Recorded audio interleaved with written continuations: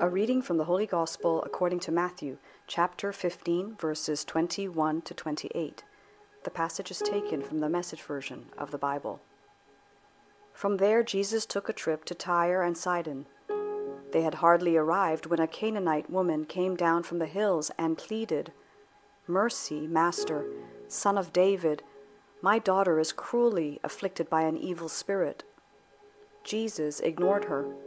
The disciples came and complained, Now she's bothering us. Would you please take care of her? She's driving us crazy. Jesus refused, telling them, I've got my hands full dealing with the lost sheep of Israel. Then the woman came back to Jesus, dropped to her knees, and begged, Master, help me. He said, It's not right to take bread out of children's mouths and throw it to dogs. She was quick. You're right, Master, but beggar dogs do get scraps from the Master's table. Jesus gave in. Oh, woman, your faith is something else. What you want is what you get. Right then, her daughter became well. The Gospel of the Lord. Good morning, this is Coffee with God. Let us listen to a short reflection on the Holy Gospel according to St. Matthew chapter 15 verses 21 to 28. Lord help me. The Canaanite mother in today's Gospel is undeterred by Jesus' apparent lack of interest.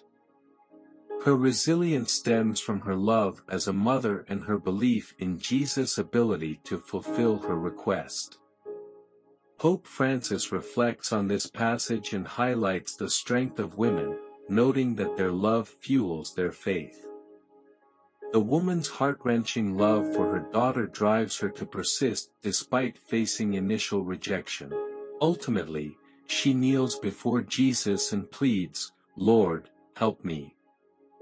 Jesus uses this humble woman as an example of unwavering faith. Her determination to seek Christ's help is a model for us to remain hopeful and not lose faith during life's challenges. The Lord does not turn us away in the face of our needs. Sometimes it may seem like the Lord is not paying attention to our pleas for help, but these experiences may be meant to strengthen our faith. The gospel teaches us to keep asking for help, just like the woman in today's passage, Lord, help me, with persistence and bravery.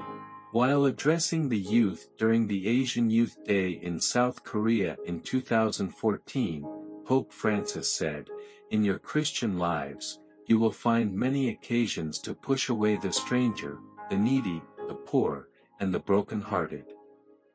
It is in these people you listen to the cry of the woman of the gospel, Lord, help me. The Canaanite woman's plea is the cry of everyone who searches for love, acceptance, and friendship with Christ, Lord, help me. Let us respond like Christ, who responded to every cry for help with love, mercy, and compassion.